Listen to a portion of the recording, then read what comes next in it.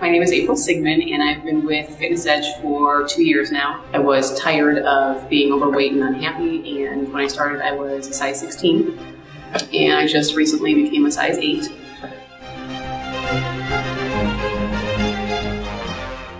I would recommend Fitness Edge to anybody out there trying to lose weight.